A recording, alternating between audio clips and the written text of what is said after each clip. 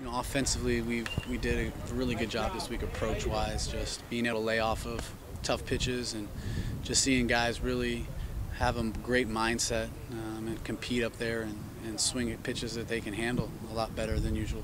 Um, so you're just seeing those guys, especially the young guys and the new guys, just understanding the, the approach stuff that we that we teach and uh, just getting more comfortable and, um, and then on the mound just to see guys you know starting to get in better shape and, and starting to get a little bit crisper and, and see some of the guys really start to make some jumps and again just really happy with so far with the with the growth of everybody. I mean obviously having guys like George and Heiser um, that you know started 50% of the games both of them um, you know started every game pretty much behind the plate you know just to have that experience to know what you know what Justin and, and myself are looking for and uh, be able to communicate a lot easier.